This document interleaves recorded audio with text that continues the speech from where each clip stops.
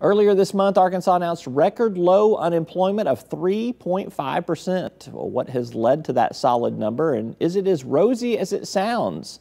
Economist Mervin Jebaraj with UA Walton College of Business joined me for a conversation. The state's put out a September jobs report and it shows a record low unemployment rate of 3.5%. Uh, Mervin, tell me what's good, what's bad, if anything, in these numbers.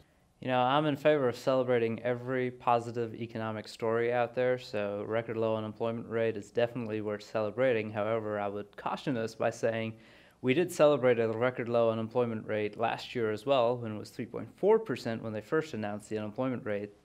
Uh, but then they subsequently revised that unemployment rate up to 3.6%, so it was no longer the record low unemployment rate. So uh, I would probably say it's maybe a little too early to celebrate the record low unemployment rate just yet. Make sure that this this doesn't get revised away.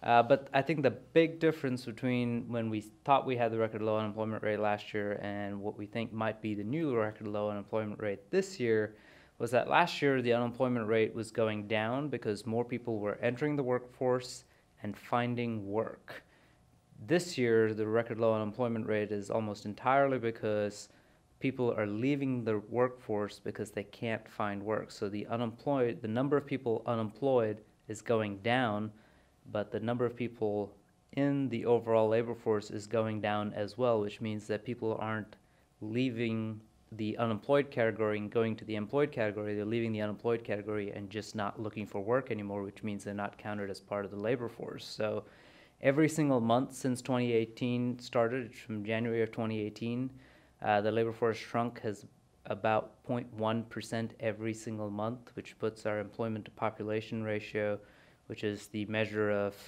uh, the people in the labor force divided by all the people above the age of 16.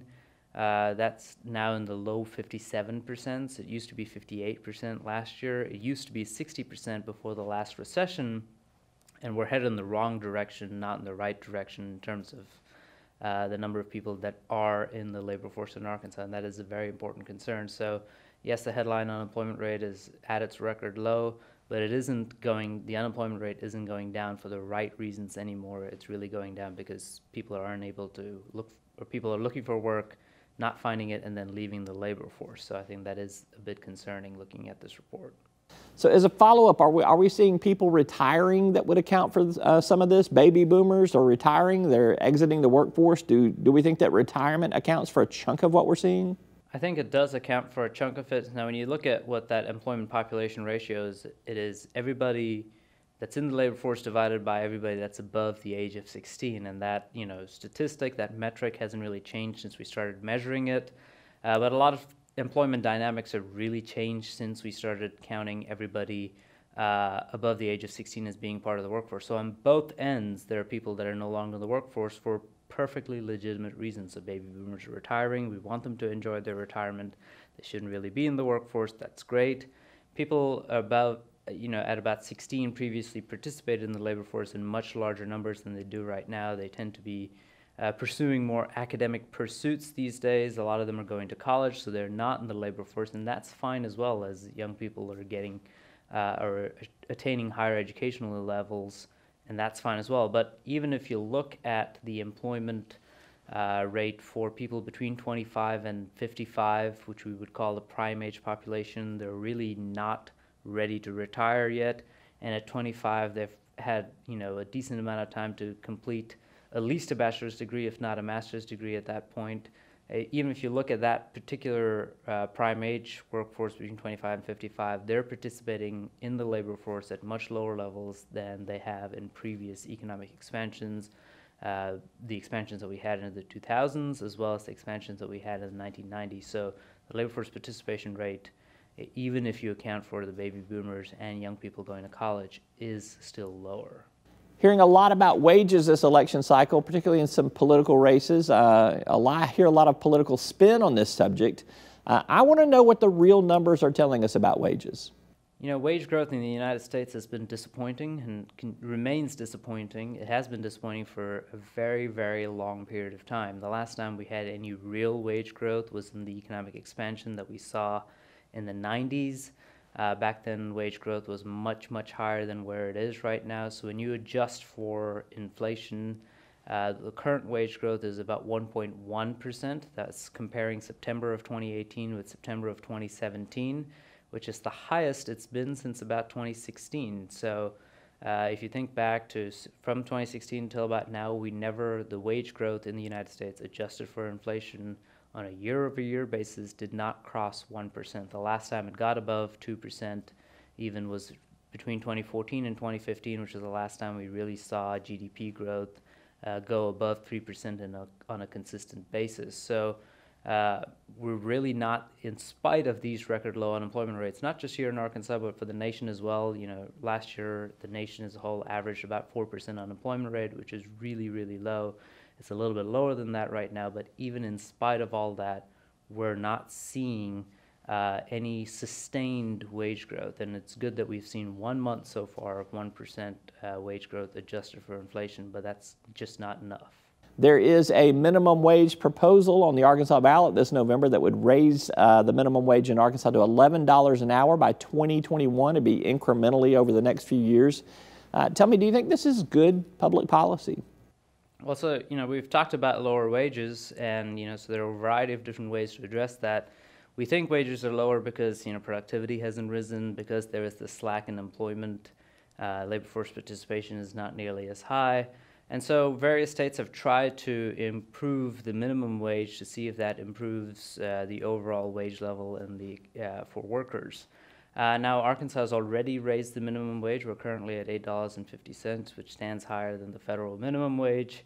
Uh, but you know it the usefulness of using minimum wage as a way to address uh, this longer term problem of wage stagnation is a little bit limited in at least in our context as it relates to this ballot proposal. I think when you think about how you would set minimum wage policy, uh, which is somewhat a blunt instrument for the state as a whole, uh, you know, a lot of experience, at least from economic research, tends to show that whether there is slight positive or slight negative effects from uh, minimum wage increases, most of those uh, deal with minimum wages that are set at about, you know, between 40 and 55, 56 percent of the median hourly wage in that particular economy. The median hourly wage uh, is not really high in Arkansas, as you might imagine, because we have a much lower cost of living here. Uh, so when you do eventually get to $11 minimum wage in Arkansas in 2021, even if I was to generously assume that wages went up 2% every year between now and 2021, the uh, minimum wage of $11 would cover about uh, 68 or so percent of the median wage, median hourly wage in Arkansas, and that is outside of at least the economic literature and what we understand is non-distortionary. So if we think about small minimum wage increases don't really boost employment or shrink employment, and so it's fine to do those. Uh, at $11 an hour, only Northwest Arkansas and Central Arkansas would have a minimum wage that is around that 50% of median wage. Uh, the rest of the state as a whole would be around 68% of the median wage.